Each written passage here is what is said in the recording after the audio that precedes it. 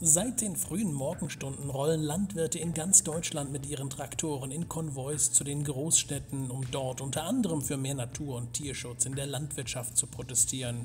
Die größte Demo läuft derzeit in Bonn. Hier sind neben rund 10.000 Menschen auch ca. 1.000 Traktoren am Start. Seit dem Morgen gibt es massive Verkehrsbehinderungen in ganz Bonn. Teilweise steht der Verkehr.